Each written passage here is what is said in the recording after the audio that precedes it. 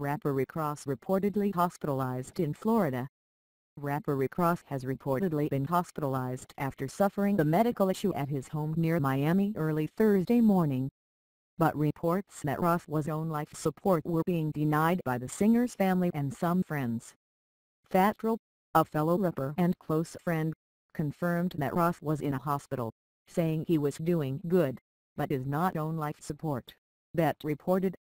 Karen Civil, who according to BET helped discredit a 2013 TMZ report that said rapper Lil Wayne was close to dying, echoed Trel's comments in a tweet Friday evening, saying Ross was never on life support. Police responded after receiving a 911 call at 3.30 a.m. Thursday that said he was unresponsive and slobbing sick at the mouth, TMZ reported. Davie Police Department officers also responded after reports that Ross became combative with paramedics, People magazine reported. Ross was getting treatment in a cardiac unit, according to TMZ. In 2011, Ross was hospitalized after suffering two seizures on two separate flights, according to TMZ. Ross attributed the incidents to lack of sleep, but has since changed his lifestyle and diet. Meanwhile, Celebrity friends have been sending messages of concern and support.